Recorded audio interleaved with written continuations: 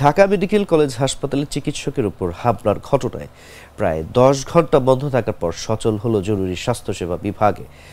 রোববার সন্ধ্যা সাতটা চল্লিশ মিনিটে হাসপাতালের পরিচালক ব্রিগেডিয়ার জেনারেল মোহাম্মদ আসাদুজ্জামানের উপস্থিতিতে চালু করা হয় জরুরি বিভাগে সেবা কার্যক্রম। এর আগে সকাল নয়টা তিরিশ মিনিট থেকে ঢাবেক ঢামেকে বন্ধ ছিল জরুরি স্বাস্থ্যসেবা। হাসপাতালের পরিচালক এসে টিকিট কাউন্টার খুলে বিক্রির নির্দেশ দেন।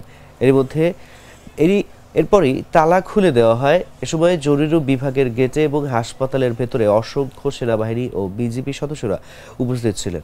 এ সময় হাসপাতাল পরিচালক বলেন, আমরা এখন হাসপাতালের জরুরি স্বাস্থ্যসেবা চালু করেছে। এখানে চিকিৎসকদের পর্যাপ্ত নিরাপত্তা নিশ্চিত করেছে। জরুরি বিভাগের পাশাপাশি আইসিইউ, সিসিইউ, এইচডিইউ সহ জরুরি স্বাস্থ্যসেবাগুলো চালু হচ্ছে। আন্দোলনকারীদের দাবির প্রেক্ষিতে এই ব্যবস্থা নেওয়া হয়েছে।